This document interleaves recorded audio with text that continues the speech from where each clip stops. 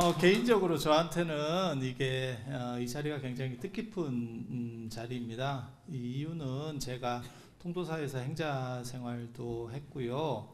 어, 그리고 어, 제가 자장률사 가지고 박사 논문을 썼었기 때문에 어, 그래서 이 예, 통도사랑은 굉장히 많은 이 인연이 있습니다. 그리고 통도사가 창건된 게 예, 선덕여왕 15년 어, 646년일 거예요. 그래서 선덕여왕이 재위 기간이 16년까지인데 16년 1월에 돌아가시기 때문에 이게 선, 예, 선덕여왕 15년 어, 가을부터 겨울에 아마 창건이 됐을 걸로 제가 어, 논문에 그렇게 다 추정을 해놨습니다. 이게 정확한 날짜는 안 나와요. 삼국유사 같은 데 보면 선덕여왕 때 창건됐다. 뭐 이런 식으로만 나와서 그래서 그런 것도 제가 정리를 좀 했었고 또 여기가 영축산 이러잖아요. 영축산 그런데 어 그게 축 발음도 나고 취 발음도 나고 추 발음도 납니다. 어 그래서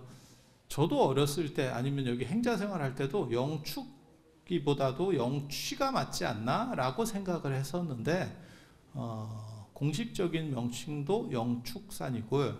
그리고 어 무조건 아무튼 축으로 해야 됩니다. 취는 안 됩니다. 그걸 어디서 발견을 했냐면 어 이제 세조 때 언해된 간경도감을 보면 거기 보면 어 간경도감에서 어 이제 법화경 같은 거를 언해를 했는데 그때 보면 축 발음으로 그러니까 조선 초기에도 벌써 축 발음이었었던 거예요. 그래서 취 발음은 생각보다 사용이 안 됐었구나 어 라는 걸 알고 그게 공식 발음이구나 어, 라는 생각을 했었습니다. 그래서 그런 것도 어, 제가 부각시킨 사람이었고 또 뭐가 있냐면 여기가 원래 영축산이 아니고 취서산 뭐 이렇게 해서 어, 그렇게 되어 있는데 자장률사께서 어, 중국에서 어, 이제 중국 오대산에 가셔서 부처님 사리를 이렇게 모셔오는데요.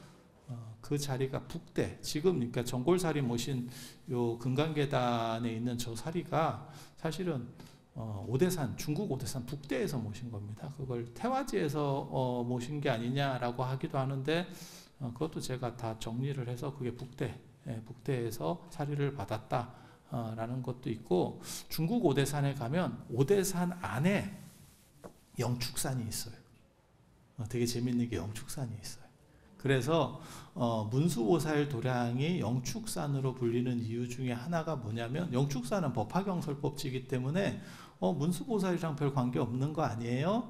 어, 라고 할지 모르지만 실제로는 어, 영축산이 어, 문수보살과 굉장히 밀접한 관계가 있고 그 이유는 사실은 중국 오대산 때문이 그렇다라는 정도를 이해하시면 됩니다. 그런 것도 어, 제가 찾았습니다. 그리고 어, 여기만 영축산이 있는 게 아니고 울산에도 영축산이 있어요. 음, 울산 쪽에서 오신 분들은 아시겠지만 어, 울산에도 영축산이 있고 거기가 지금은 이제 문수산, 영축산 이렇게 되어 있는데 그래서 예전에는 그 영축사라고 하는 절이 있었고요. 예, 절이 있었고요. 그리고 그게 이제 왜 그렇게 되는 거냐면 예전에는 경주가 어, 배를 접안하기가 굉장히 어렵습니다. 그게 동해 바다에서 그 수심이 깊어서 어, 배를 이렇게 들이기가 힘들어요. 어, 그래서 무슨 일이 있냐면 울산으로 해서 이렇게 올라오는 거죠. 울산으로 해서 경주로다가 물량을 수송을 하거든요. 그래서 자장률사께서 어, 중국 이렇게 어, 유학을 떠나실 때도 다 울산으로 왔다 갔다 하셨습니다. 울산으로 왔다 갔다. 그래서 그 울산 에도 영축산이 있는 거고 그 다음에 영축사가 있는 거고 그리고 그 옆에는 문수산이 있고 여기도 어 문수와 관련된 부분이 있고 그 다음에 여기가 영축산이 되고 어 이제 그렇게 그리고 중국 오대산에 가면 어 실제로 영축사가 있습니다. 어 대부 영축사라고 지금 현재 이름은 이름이 바뀌었는데 현통사라고 되어 있습니다. 현통사. 어 그래서 중국 오대산에서 가장 오래된 절 하면 현통사입니다. 현통사. 어, 그게 청량 진관 스님이 주석하셨던 사찰이에요. 지금 이제 화엄경 말씀을 드릴 건데 화엄경과 관련돼서 중국 화엄종에서 가장 중요하신 분 두분 말씀드릴 수 있거든요. 그게 이제 두 분이 누구냐면 현수법장 스님, 현수법장 스님 들어보셨습니까? 현수 법장 스님 어, 화엄종을 어떻게 보면 완성하신 분입니다. 그래서 화엄종 그러면 초조도순, 이조 지엄, 삼조 어, 저 현수 법장 이렇게 얘기하지만 실제로 송나라 때까지는 화엄종이라고 안 부르고 중국에서는 현수종이라고 더 많이 불렀었어요. 그래서 현수 법장 스님이 그거를 이제 집대성에서 중국 문화의 특징 중에 하나가 뭐냐면 집대성자를 높입니다. 그러니까는 누가 시작했느냐보다도 이거를 완성한 사람이 누구냐라고 하는 부분을 굉장히 크게 부각해요. 그래서 공자가 유교의 집대성자, 아, 그래서 어, 공자를 모신 사당을 대성전 이렇게 에, 이렇게 하는 거거든요. 그래서 어, 주자 같은 경우는 신유학의 집대성자 어, 이렇게 보는 거고요. 그래서 그런 부분들이 다 존재합니다. 어, 그리고 또 한 분이 누구냐면 이제 청량 진관 스님. 어, 3조가 이 현수법장 스님이고 그 다음에 이 4조에 해당하는 게 이 진관 스님이에요. 진관 스님. 어, 원래는 해원 스님이 계셨는데 그 해원 스님이 현수 법장 스님하고 관점이 사상 관점이 좀 틀려가지고 손상자 버린 이 진관 스님. 어, 진관 스님이 이제 되는 거고 청량 진관 스님 얘기를 하려고 지금 하는 거예요. 거기가 어, 그 현통사가 청량 진관 스님께서 계속 주석하시면서 소초 150권을 화엄경 소초 150권을 쓰신 데가 다 거기 예, 현통사예요. 그래서 어, 오대산의 다른 이름이 청량산이에요. 그래서 청량 진관 스님 이렇게 되는 거거든요. 그래서 현수법장 스님 같은 경우는 장안 서안 중심으로 거기 가면 화엄사라고 하는 절이 있어요. 어, 화엄사라고 하는 절이 있고 그쪽 을 중심으로 해서 화엄사 그 다음에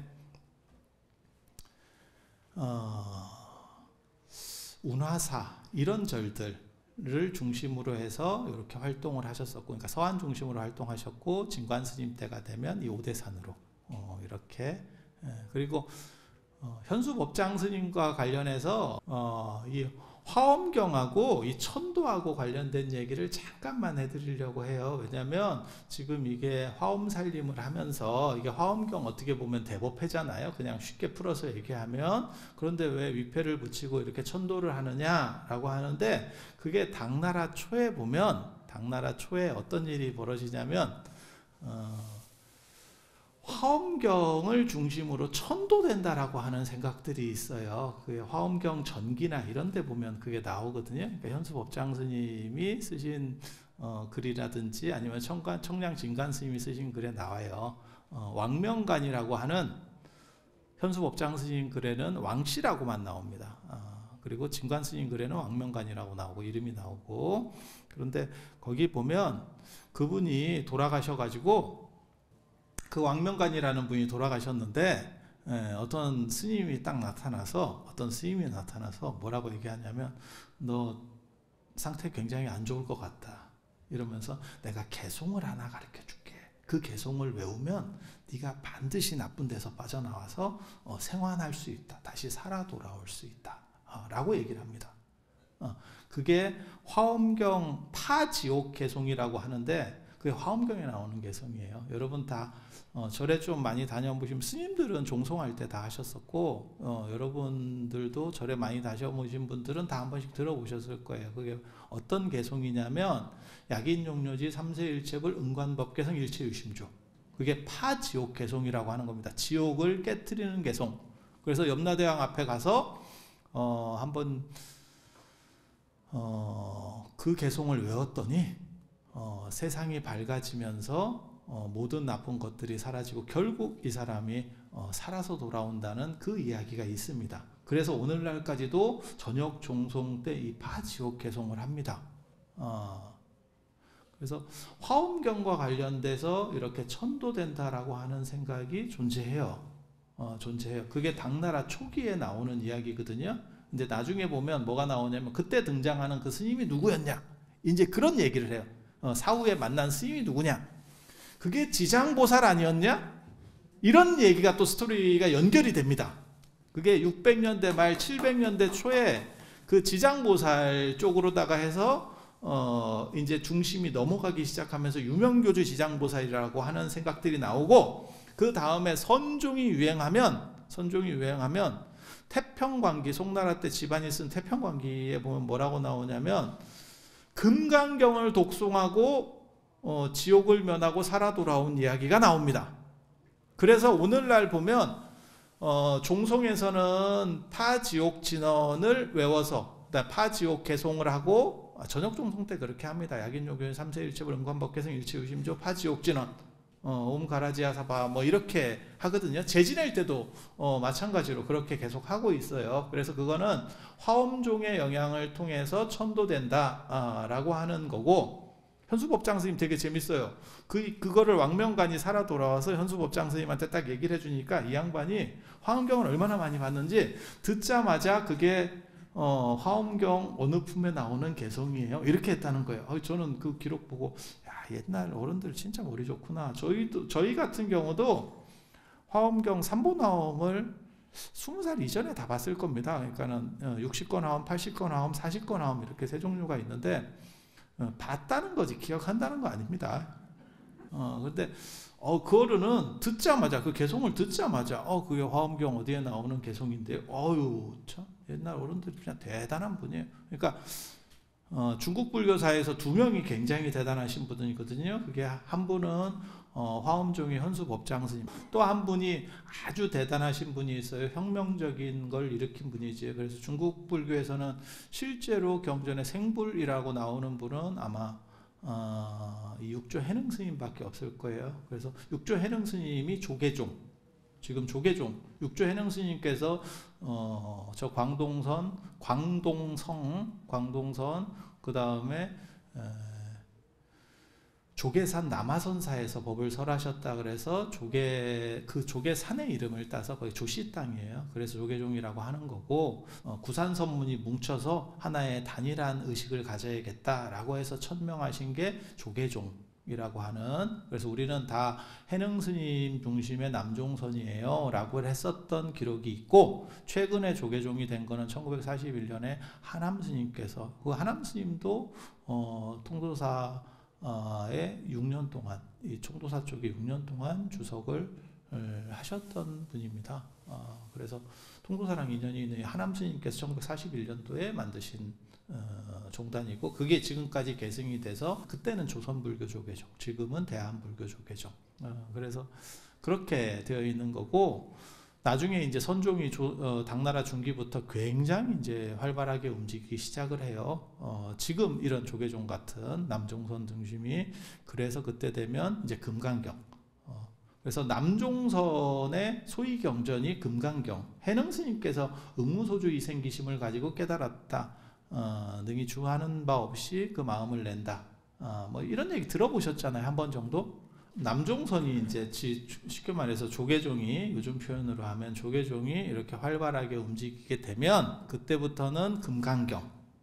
그래서 두 가지가 있다더라. 화엄종에서는 화엄종에서는 어, 화엄경 개송으로 어, 화엄경 개송을 통해서 어, 천도된다라는 생각이 있었고 그 다음에 조계종에서는 이 선종에서는 금강경을 독송을 하면 천도된다라고 하는 그러한 두 가지가 있다더라. 그러니까 신앙적으로는 지장신앙이 있는 거고 그래서 지금도 그 두 가지를 같이 합니다.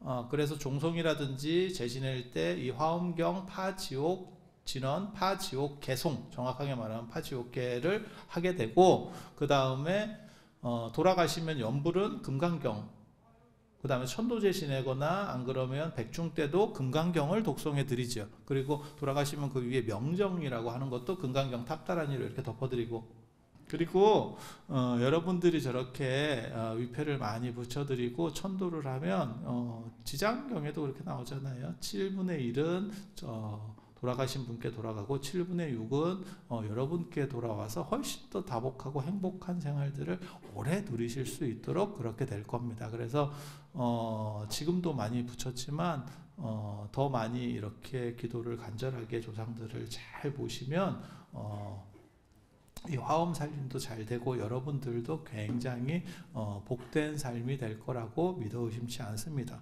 자, 화엄경에 대한 이야기를 해볼게요. 어, 화엄경 제가 맡은 데는 이제 어, 승도솔천 품, 그러니까 도솔천에 올라간다라고 하는 거예요. 도솔천에 올라가는 품이고, 그 다음에 도솔천 개찬품은 이제 어, 그 다음에 나오는 어, 도솔천 음, 중들이 어떻게 보면 거기서 있는 보살들이 부처님을 찬탄하는 그런 음, 부분이에요.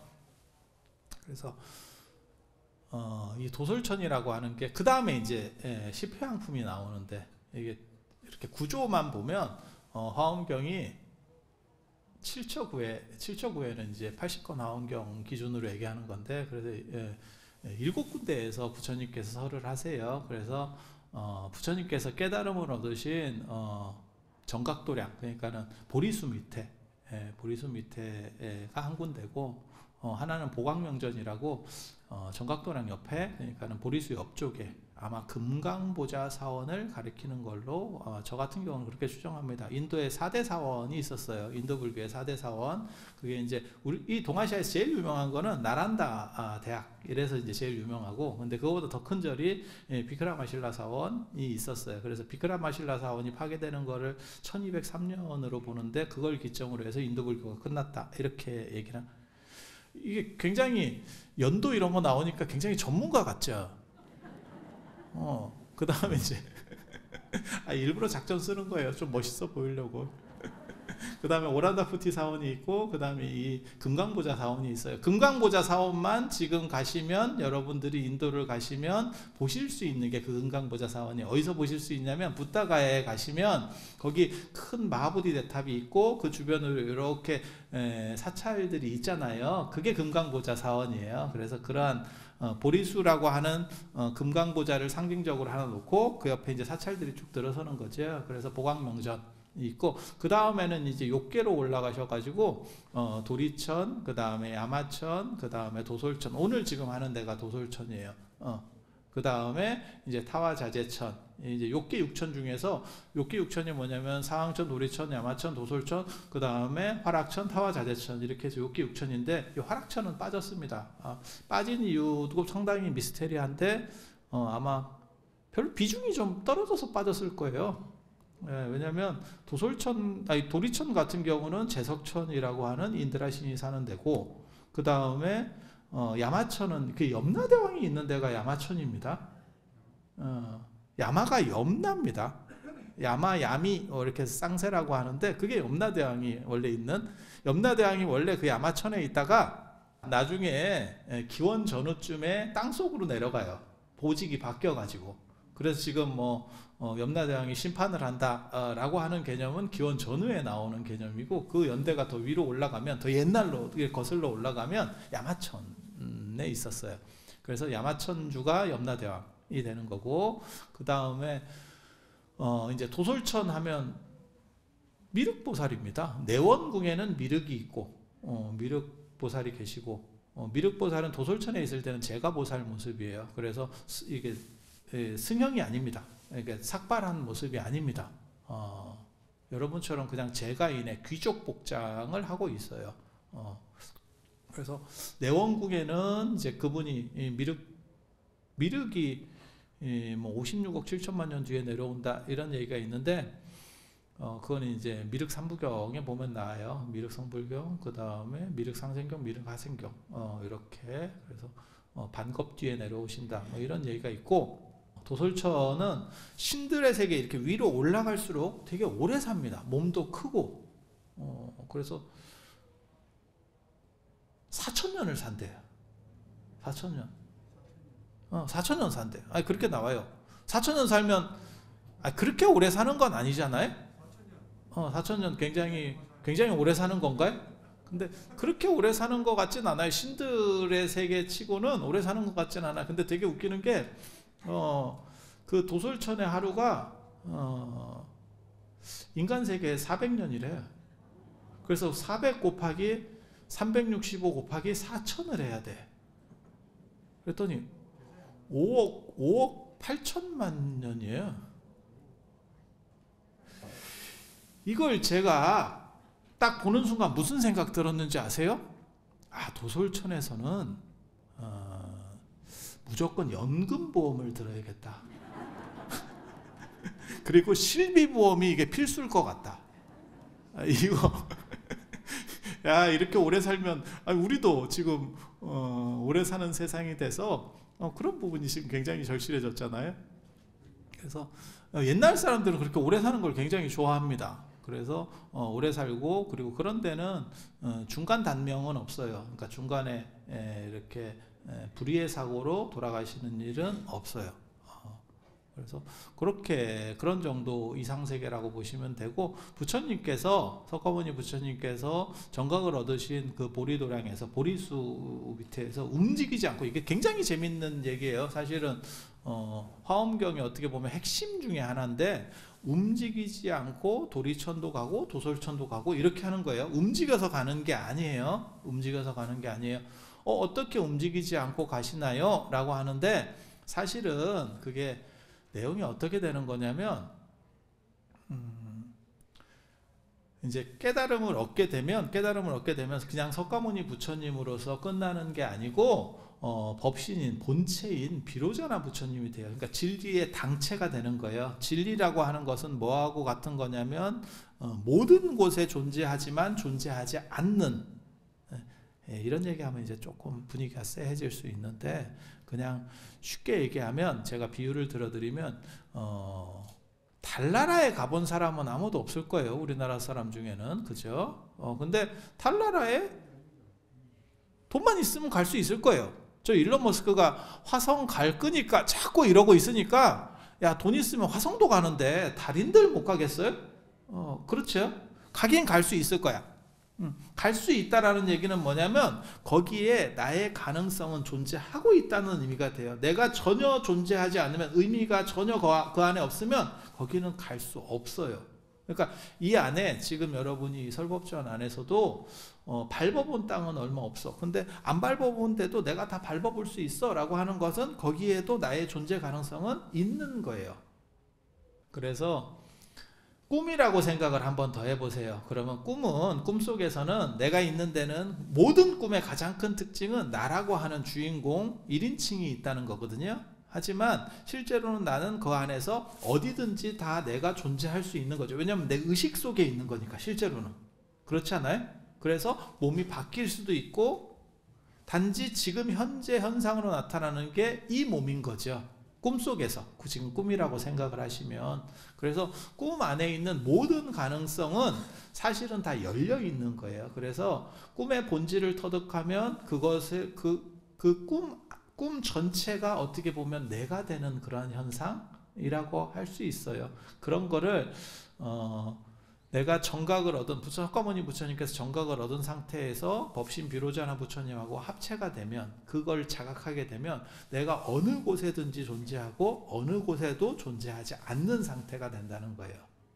음, 그래서 나중에 이제 일치의심조라고 하는 마음먹기에 따라서 모든 것이 달려있다라고 하는 거고 그건 기본 설정이고 그건 기본 설정이고 그 다음에 어, 이제 승수미산 승도솔천 품하고 관련이 되면 여기서는 부처님께서 몸을 움직이지 않으시고 어, 이 도솔천에 올라오시니까 10명의 보살들이 나옵니다. 10명의 보살들이 10개의 세계에서 이렇게 운집해 온다라고 하는 이야기가 있어요. 어, 그렇게 운집해 온 분들 중에서 리더가 금강당 보살이에요. 금강당 보살. 어, 금강당 보살. 그 금강당보살이 얘기하는 게 바로 그 개송이에요. 방금 음, 말씀드린 그런 것과 비슷한 개송이거든요. 그래서 어떻게 얘기를 하냐면 부처님은 색이나 소리로 그러니까 형체나 소리로 어, 뵐 수가 없다. 하지만 색이나 소리를 어, 여의어 있는 것도 아니다. 어, 라고 개송으로 부처님을 찬탄을 합니다.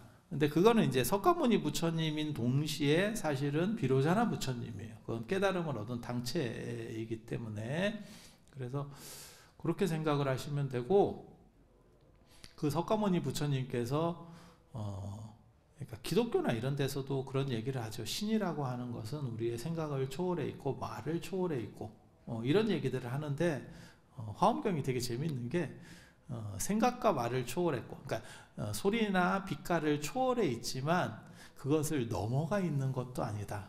어, 이게 굉장히 재밌는 거예요. 그러니까 단순히 초월해 있으면 초월해 있으면 그걸 넘어서 있기 때문에 이 초월하기 전에 이 단계는 벗어나 있는 거죠. 사실 분리되어 있는 거죠. 그런데 이것을 넘어서 있지만 넘어서 있는 동시에 이것도 포함하고 있어. 어, 라고 이야기하는 거예요. 그래서 이게 한 단계 더 높은 어, 재밌는 생각입니다. 굉장히 예, 철학적으로는 사유가 깊은 생각이에요. 그거를 기원 전후에 어떻게 생각을 했는지는 저도 잘 모르겠어요. 어, 그래서 화엄경이 만들어지는 게 기원 전후쯤 이제 만들어지거든요. 원래는 뭐 어, 석가모니 부처님께서 처음 깨달음을 얻고 37일, 21일 동안 설하셨다라고 어, 되어 있지만 이것이 정리가 완전히 정리가 되는 거는 기원 전후쯤에 어느 정도 정리가 돼서 사실은 이제 중앙아시아 쪽, 저 호탄 쪽에 가서 최종으로 완성됐다. 지금까지는 이제 그렇게 에, 인식들이 되고 있어요.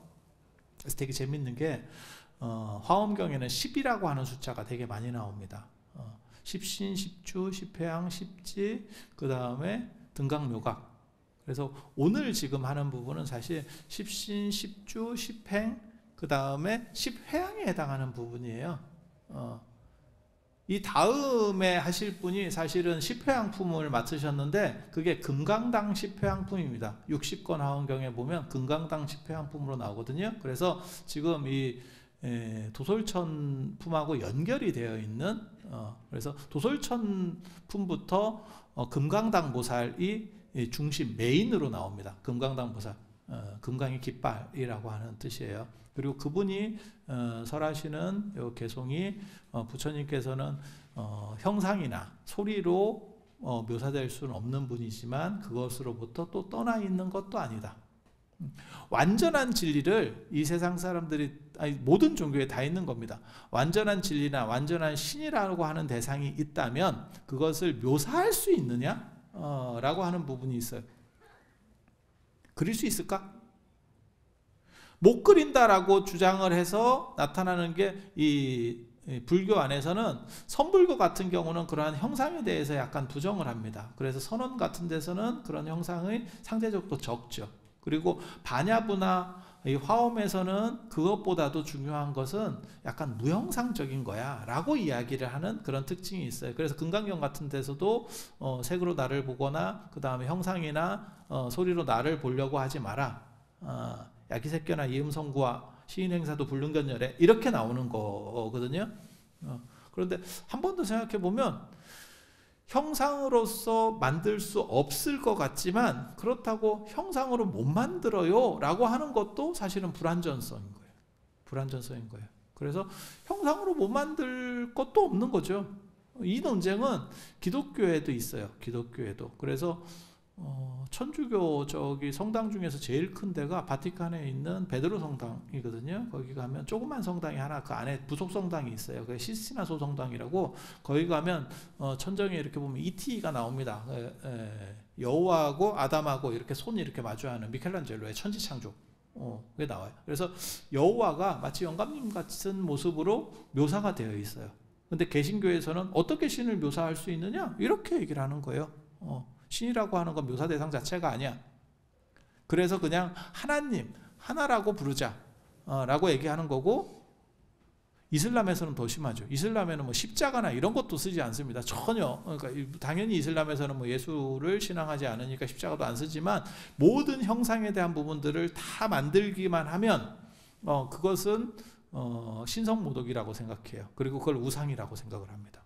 그런데 한 번 더 생각해보면 완전한 존재면 못 만든다라고 하는 것도 말이 되지만 못 만든다라고 하는데 걸려 있는 것도 안 된다는 거예요. 그게 금강당 보살이 하는 얘기예요. 그래서 부처님은 형상이나 색으로는 이렇게 쫓아갈 수 없지만 그런 걸로 볼 수 없는 분이지만 동시에 어 그걸 그렇게 안 된다라고 하는 것에서도 걸려 있는 분이 아니에요.라는 얘기를 해요.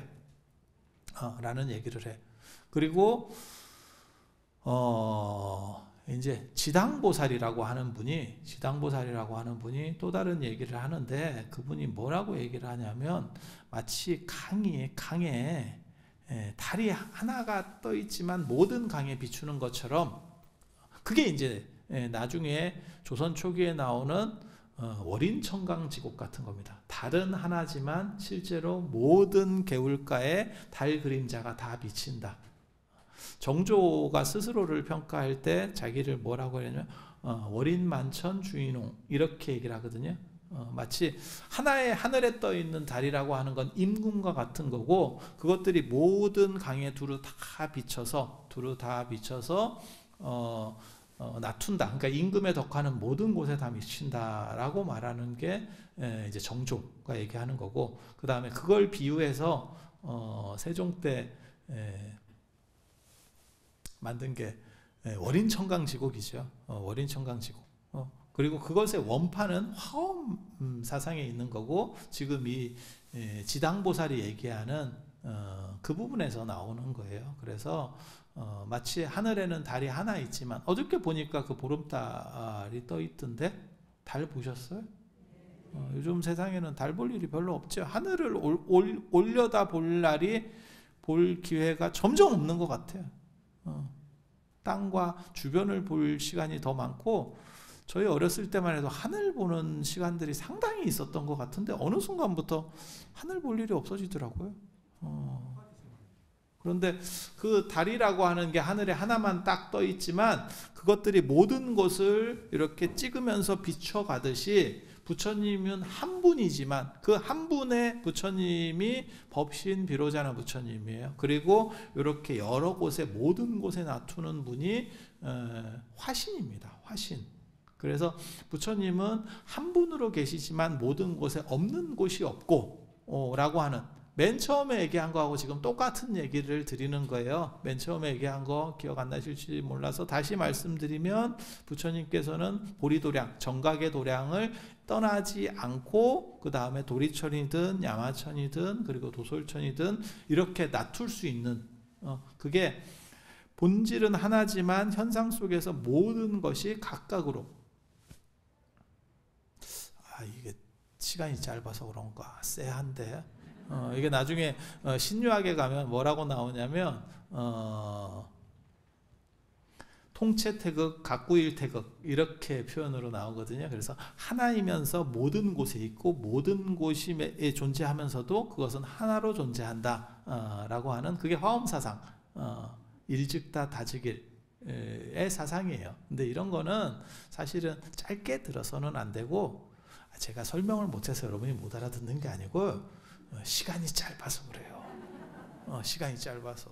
어, 그래서 그러한 사상이 있다더라 라는 아, 정도를 기본적으로만 어, 이해를 하시면 돼요. 그래서 화엄경이 이게 양도 많고 내용이 이게 철학적으로 좀 복잡해서 무슨 일이 벌어지는 거냐면 이걸 다 할 수가 없어요. 그래서 내용적으로 엑기스를 추려주려고 하는 게 뭐냐면 나중에 의상대사가 한 법성계, 화엄일승 법계도 어, 라고 하는 게 예, 나오게 되는 거고 어 그렇게 하니까 너무 내용으로 압축을 하니까 말을 잘 못 알아듣겠어요. 이러니까 어떻게 되냐면 화엄경에서 분명하고 그러니까 각 장의 제목하고 그 다음에 등장인물, 중요한 등장인물들하고 이런 거를 추려서 하는 게 어, 화엄경 약창계입니다. 화엄경 약창계입니다. 어, 그리고 어, 그렇게 그러니까 내용 중심으로 하나 추리고 형식 중심으로 하나를 추리고 그리고 이거를 다 알아들어야 되느냐? 아니 그렇게 하실 필요 없어요. 어, 저도 좀 안타깝다라고 자꾸 생각을 하는 게 뭐냐면 자꾸 나는 이거를 못 알아듣는 것 같은데 어떡하지? 아니 그러실 필요 없어요. 어. 금강경 있잖아요. 되게 재밌지 않아요? 돌아가신 분한테 금강경을 스님들이 한문으로 읽어드리는데 아 얼마나 빨리 읽냐면 제가 옆에서 같이 해도 저도 잘 못 따라할 정도로 빨리 읽어요. 어. 그러면 그 그거를 이렇게 재 지내시는 분들 중에서 가끔 물어보시는 분이 있어요. 아니 우리 아버님 아니면 우리 어머니가 한문도 모르시는데 한문으로 이렇게 읽으면 알아듣겠습니까? 이렇게 물어보시는 분들이 있어. 음, 그럼 제가 뭐라 그러냐면 아 귀신같이 알아듣습니다 이렇게 얘기해 주거든. 그런데 이게 되게 재밌는 게 어, 여러분이 예, 이거를 전부 다 알아들으실 필요가 없어요. 어, 그 얘기를 해드리려고 하는 거야. 반야경도 반야경도 600권으로 된 책이에요. 화엄경은 60권, 80권, 40권 이렇게 해서 180권이거든요. 180권. 어, 그런데 바, 반야경은 600권이나 되는 책이에요. 그런데 그것들 누가 읽으려니까 너무 힘들어. 어, 너무 힘들어. 그러니까 어, 나중에 반야신경에서 뭐라고 요약을 해주냐면 아제아제 바라아제 바라승아제 모지사바만 하면 그 600권을 읽은 거하고 퉁을 쳐준대. 아, 이거 굉장히 재밌는 얘기예요. 왜냐면 어, 왜냐면 이거를 다 할 수가 없거든. 그래서 거기에 에너지를 집약시켜서 어, 하나로다가 축약시켜 줄게라고 하는 거예요. 그래서 제가 그런 얘기 하거든요. 어, 감기가 걸리면 감기가 걸리면 어, 감기약을 먹으면 낫는 거지 약 성분을 다 알 필요가 없어요. 어, 약 성분을 다 알고 먹는 게 절대 아닙니다. 어, 그냥 먹으면 나. 그러면 약 성분을 알아야 될 사람은 누구냐?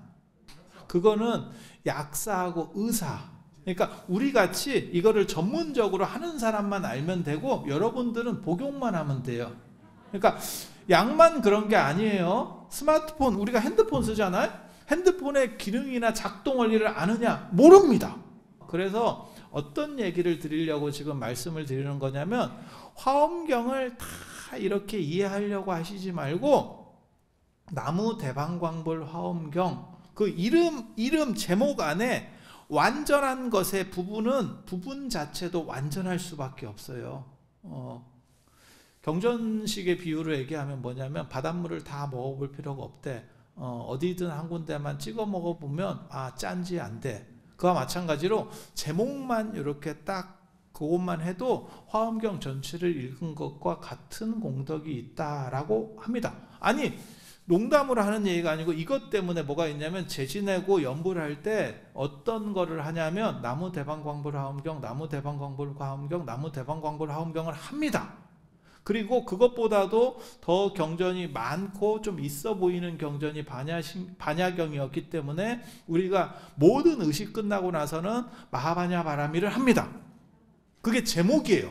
그러니까 그 제목만 읽어도 600권을 한 것과 진배 없는 내용들이 그대로 나에게 작동하는 거예요. 마치 뭐하고 똑같은 거냐면 내가 감기가 걸려서 쌍화탕을 먹으면 쌍화탕 성분을 내가 전혀 몰라도 내 몸에서 쌍화탕 성분이 돌아서 감기가 낫듯이 어, 그래서 화엄경을 이렇게 귀로 씻는 거 굉장히 중요합니다. 어, 제가 사람들은 제가 공부를 열심히 한다고 생각하는데 그런 건 아니고요. 전 그냥 하고 싶은 대로 하는 사람이라서 어렸을 때부터 그렇게 살았는데 제가 학교 가기 싫으면 학교를 안 갔는데 되게 재밌는 얘기를 하더라고요. 저희 형이 저는 그 얘기를 지금도 어, 굉장히 감동 깊게 생각을 하거든요. 어, 자더라도 학교 가서 잘해. 그러면 귀로 씻기면서 뭔가가 된대. 근데 그 말이 맞는 거예요. 그래서 여러분도 마찬가지예요. 그래서 귀로 씻는다라고 생각을 한번 하시면 되고 그렇게 머리 아픈 거는 의사 약사만 하면 돼요. 어, 왜 의사 약사들은 해야 되냐면 어, 사람에 따라서 그것이 맞는 경우도 있고 안 맞는 경우도 있고 설명해 줘야 될 부분도 있고 설명 안 해줘야 될 부분도 있고 그런 고지해야 될 부분들이 존재하기 때문에 그래서 그런 사람들을 전문가라고 하는 거고 일반인들은 거기에서 잘 조제된 약을 그대로 드시면 돼요. 그 드시는 방식은 두 가지입니다. 하나는 귀로 잘 쓴 씻는 거 씻으면서 이렇게 어, 닮아가는 거 그리고 또 한 가지는 뭐냐면 나무 대방광불 화엄경. 어, 실제로 연불에도 많이 하고 스님들도 많이 합니다.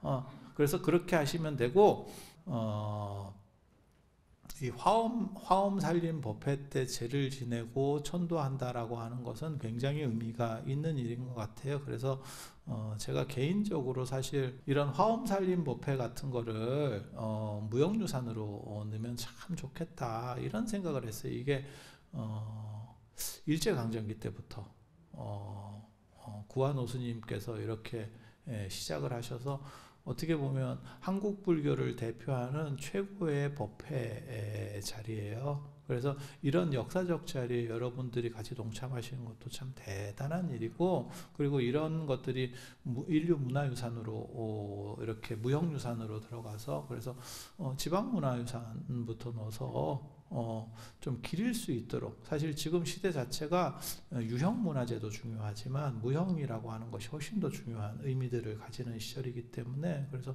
그런 것들도 작업을 좀 많이 좀 할 수 있었으면 좋겠다 라는 생각을 가지고 여러분들이 이런 뜻깊은 행사 속에서 어, 조상님들을 천도하고 그 다음에 여러분 스스로를 이렇게 밝히려고 오셨다는 부분에 대해서 굉장히 높은 어, 공덕을 치하해 드리면서 오늘 어, 법문을 모두 마치도록 하겠습니다. 자, 들어주셔서 감사합니다.